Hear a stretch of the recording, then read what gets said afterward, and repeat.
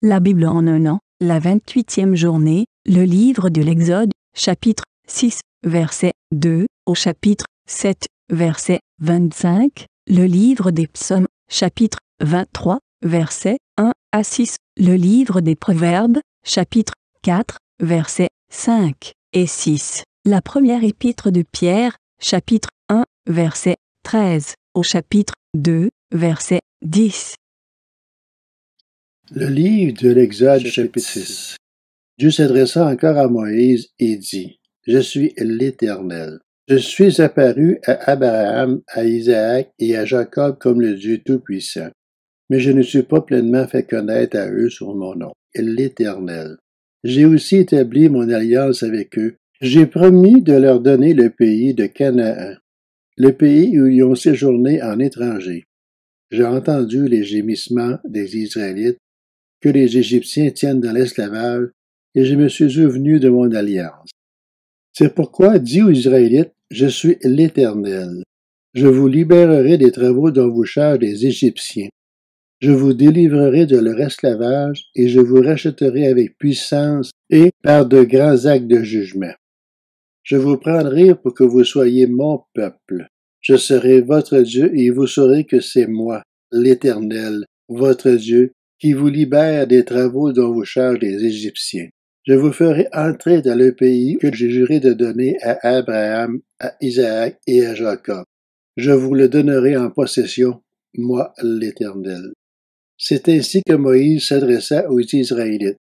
Mais leur impatience et la dureté de l'esclavage les empêchèrent de l'écouter.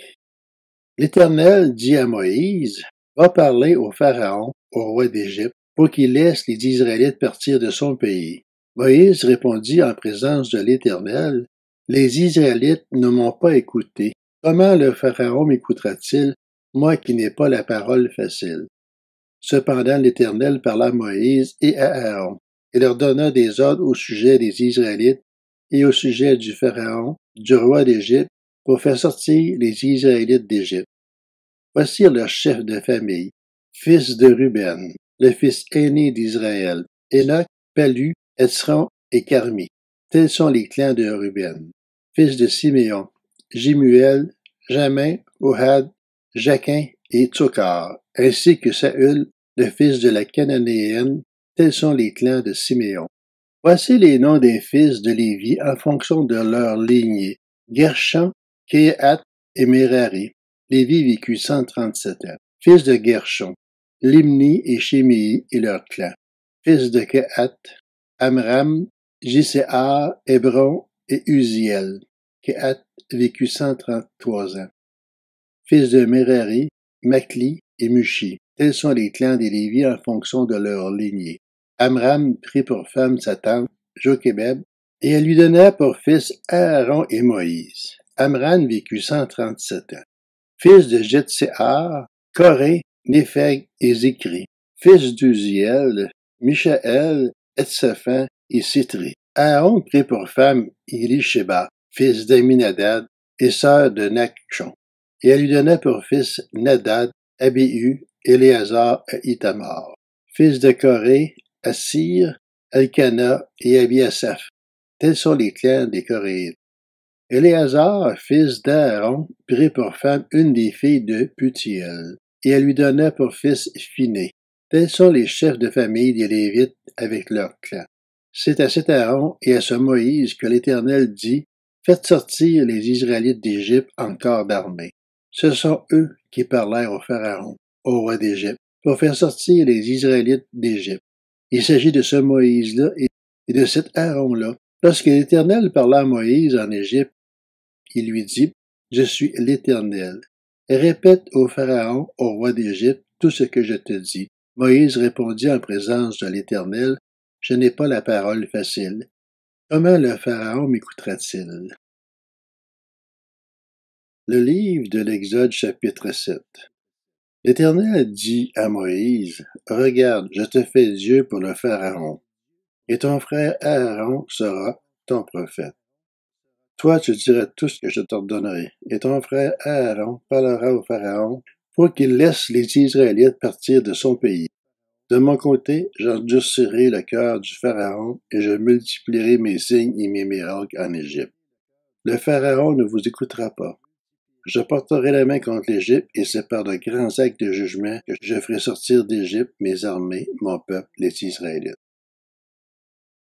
Les Égyptiens reconnaîtront que je suis l'Éternel lorsque je déploierai ma puissance contre l'Égypte et ferai sortir les Israélites du milieu d'eux. Moïse et Aaron se conformèrent à ce que l'Éternel leur avait ordonné. C'est ce qu'ils firent. Moïse était âgé de quatre-vingts ans et Aaron de quatre-vingt-trois ans, lorsqu'ils parlèrent au Pharaon. L'Éternel dit à Moïse et à Aaron, Si le Pharaon vous dit, faites un miracle, tu ordonneras à Aaron, prends ton bâton et jette-le devant le Pharaon. Le bâton se changera alors en serpent.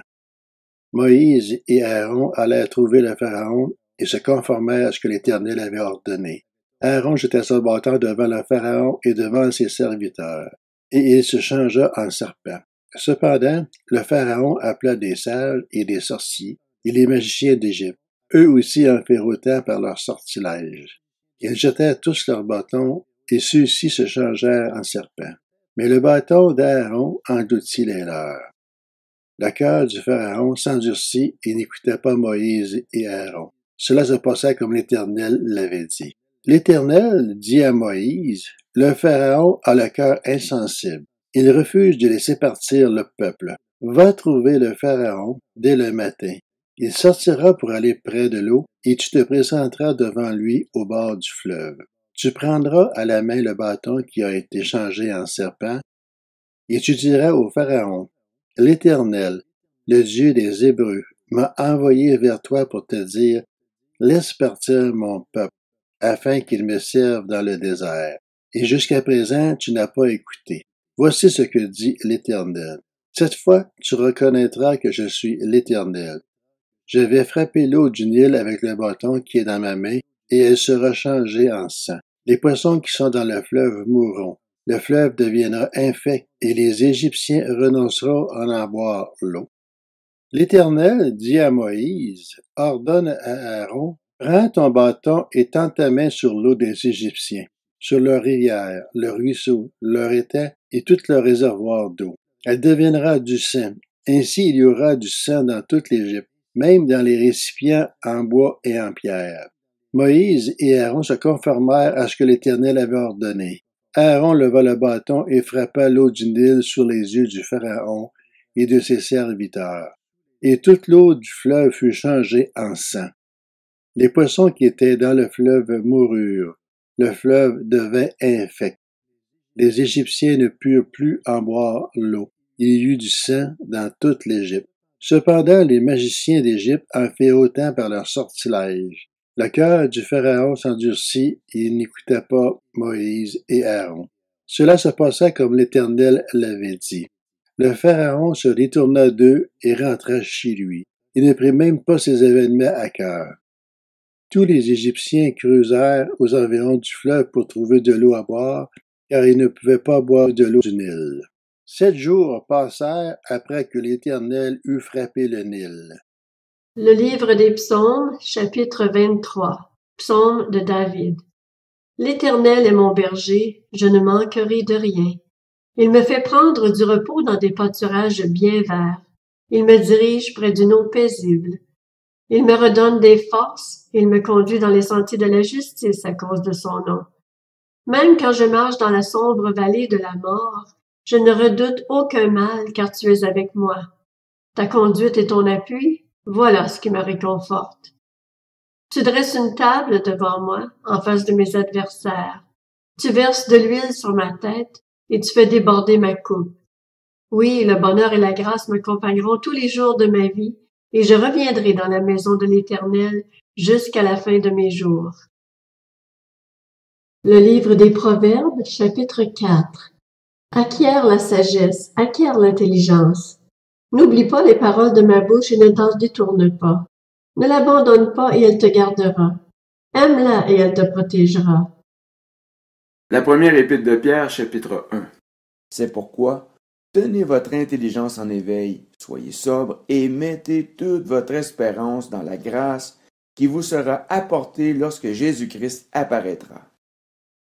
En enfant obéissant, ne vous conformez pas aux désirs que vous aviez autrefois quand vous étiez dans l'ignorance.